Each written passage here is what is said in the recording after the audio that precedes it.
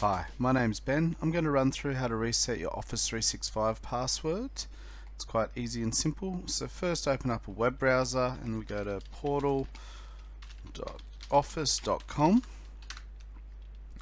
Once this loads up, this is the new experience of it. Um, so I've signed in previously, so select the account that you want to sign in, enter your current password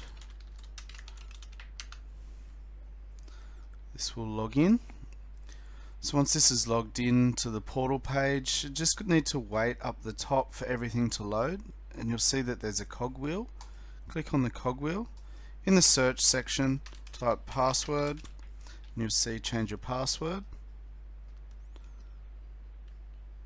Once this loads so you type in your old password and your new password and click on submit and you'll be re-asked to log in again. I'm not going to do this at the moment otherwise I have to change my phone's password also with my emails also um, log in on my Outlook and any other logins. So just be aware that when you reset your password you'll be re-asked for that password across any device that is connected.